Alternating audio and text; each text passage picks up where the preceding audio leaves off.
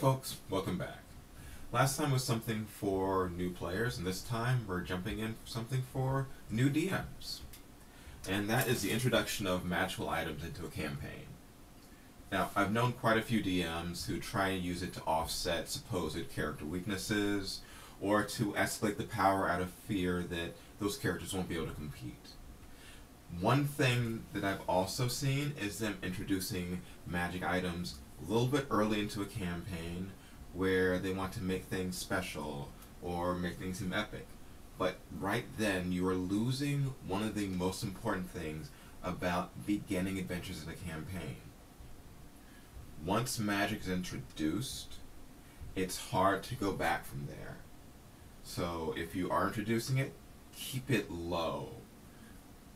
One rule I've always had is that magic items are not sold in shops.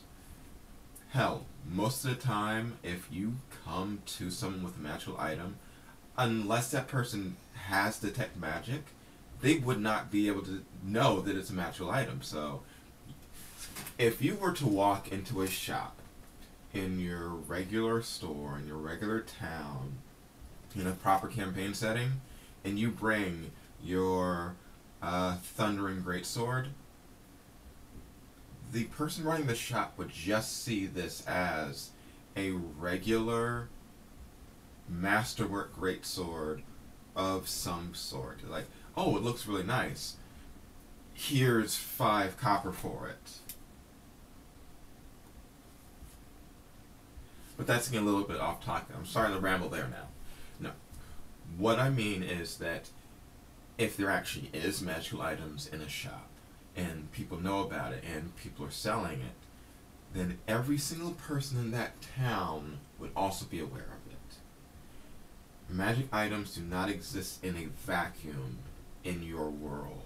If there's a potion that can do something, if there's a piece of armor that can do something, and this is something that is just sold, someone would have bought it before you guys got there. Another thing is that if you do start to hand out these powerful items too early into the campaign, then where are you going to go to next? If at level 1 or level 2 they already have a flying carpet, then what are you going to give them for level 3 and level 4? Things should be fun, but there needs to be a sense that the characters and that the players have earned things that there's some improvement that is happening.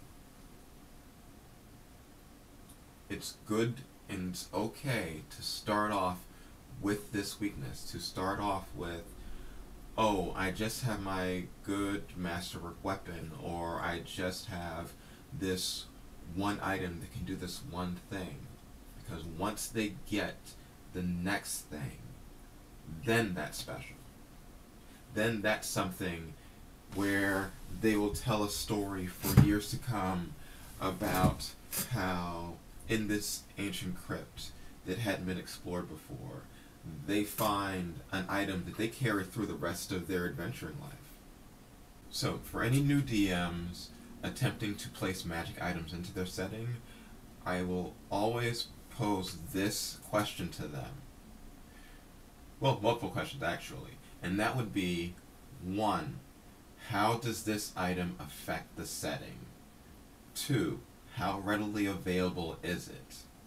And three, how would it affect other characters getting a hold of this? So, this one's just a quickie. Next one will be much longer. I just had to get things ready because I have to go to work soon. But for now, I will see you all next time. Bye-bye.